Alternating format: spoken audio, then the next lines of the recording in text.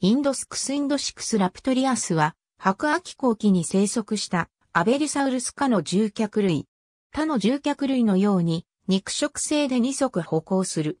全長は6メートル程度と推定され、頂部が平坦になった景観のある頭骨を持っていた。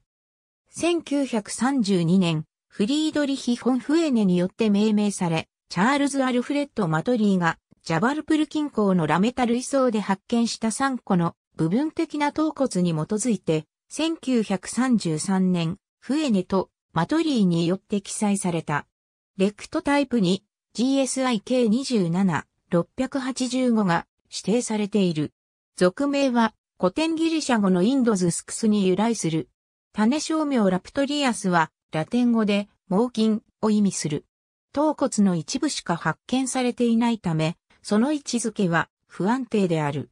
記載当初はアロサウルス化とされたが、1964年、アロック・ウォーカーはティラノサウルス化であると考えた。